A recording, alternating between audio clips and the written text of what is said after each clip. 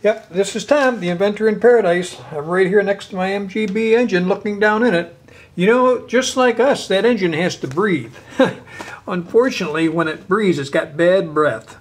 This, uh, right where I'm pointing, is a is a, a cap that is over the, the breather area. Inside of that cover is uh, some uh, wire mesh type material that kind of contains the oil from getting up in it as it's trying to get a breath of air. It comes up, the air comes up through this tube, and then uh, usually you have your emission control plumbed into it. Now, there's several problems regarding this video here. Uh, I'm going to try to bring to your attention. Number one, that bolt that holds that uh, cap in there is so darn long. I don't know if I can get the cap, get the light down on it better. I'll show you a blow up of it. But uh, it's so difficult to get at that bolt down that bolt head down there and you got to retrieve it out and kind of tip the cover a little bit and have a mindset that everything has to drop down. You can't take it off going up. Very difficult. You loosen the cap, tip it on the downward angle, slide the bolt out. That gets rid of the bolt length because if you don't take the bolt out first, it just extends so far that there just isn't room for you to uh, manipulate the whole thing uh, between the block and the exhaust manifold. It's just too tight. So get the bolt out, uh, the cover usually pops right off. Just give it a little nudge. It's hardly ever sealed too tightly on there. And what is disappointing to me is that sometimes I run into this situation where they have a rubber gasket underneath it. A rubber seal that really doesn't conform to the entrance in that black. I'm going to put another photo up, enlargement, that you'll see the lower corner area uh, of that seal hardly even covers the covers the black at all.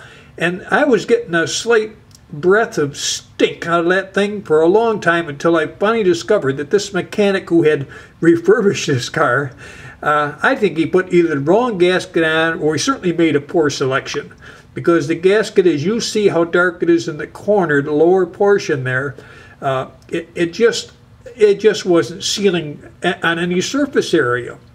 Maybe it's the fault of the gasket manufacturers. I went and ordered a new rubber gasket, and that gasket is not shaped to cover the surface that it's intended to.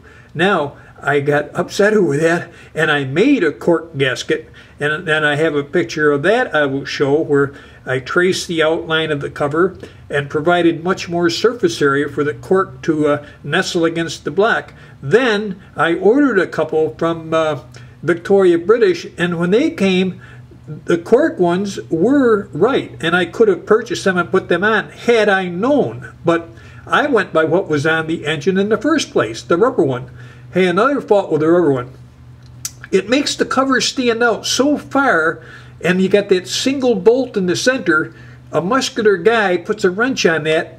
And this picture shows you you can actually collapse that cover a little bit dimple it in, well, that's not good. You know, that's a little too much strength on the wrench. You, you don't want to do that. That is almost like the valve cover, uh, uh, the valve cover on top there. You know, some of those other valve covers, they aren't as nice as the one I got. I got a heavy heavy uh, aluminum one here. Some are kind of tinny, and you draw down and you can you can dimple them a little bit. And worse than that, they're so far from the sealing area. I'll do another video on that regarding that cover. It's a stinker to get uh, to stop a leak on.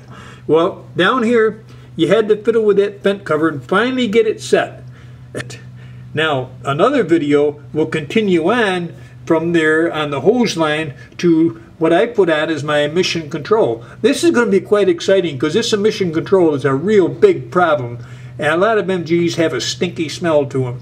You got to get rid of that. And I've tried various things, and I think I found an answer. So you shall see. It'll come up uh, shortly. Okay, I'll be back.